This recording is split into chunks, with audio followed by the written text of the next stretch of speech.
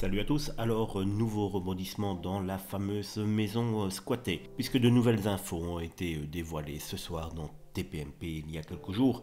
Un couple a donc raconté son incroyable histoire à nos confrères du Parisien. Il s'agit de Laurent et Elodie, euh, souvenez-vous, qui, se sont, qui sont devenus pardon, propriétaires d'une maison en région parisienne.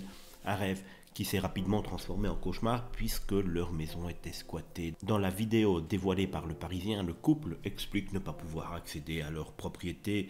Cette histoire a rapidement euh, pris euh, effet boule de neige et fait le tour de tous les réseaux sociaux, au point que Cyril Hanouna, qui est toujours avide de ce genre de petits euh, détails croustillants et de petites histoires qui pourraient faire le buzz, a tenu à les inviter dans TPMP, là dans l'émission. Laurent et Elodie avaient affirmé n'avoir appris la présence de squatteurs qu'après la fameuse signature chez le notaire en mai 2022.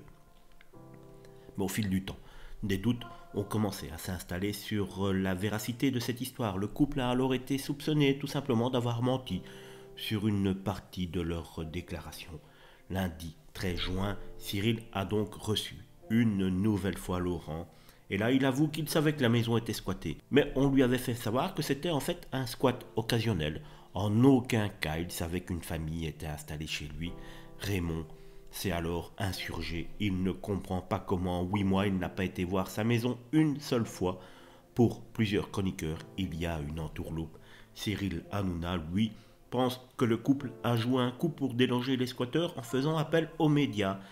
Moi également, je le pense. Maintenant, on va dire que ça serait euh, bien joué d'avoir fait appel aux médias pour que l'histoire aille un petit peu plus vite et qu'on déloge ces fameux squatteurs qui n'avaient, euh, quoi qu'il arrive, rien à faire dans une maison qui n'était pas la leur.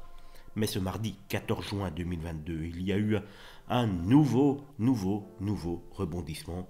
En effet, Cyril fait savoir que le couple est mis en examen dans une affaire de trafic de stupéfiants depuis octobre 2021 ils sont également mis en examen pour détention illicite d'armes de catégorie B et C et participation à une association de malfaiteurs en vue de la préparation d'un délit.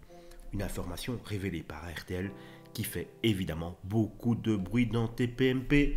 Gilles Verdès se demande alors d'où vient l'argent qu'ils ont eu pour acheter la maison. De son côté, Daniel Moreau a le sentiment que le couple a pris les gens pour des cons. On ne peut que lui donner raison.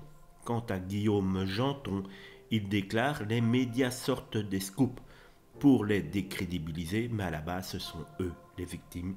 Il y a une partie de vrai dans ce que Guillaume dit.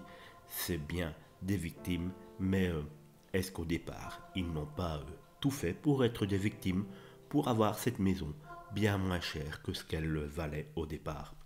Cyril Hanouna ensuite fait savoir que Laurent serait sur le plateau une troisième fois dès demain pour s'expliquer sur ces nouvelles informations qui viennent de sortir dans la presse.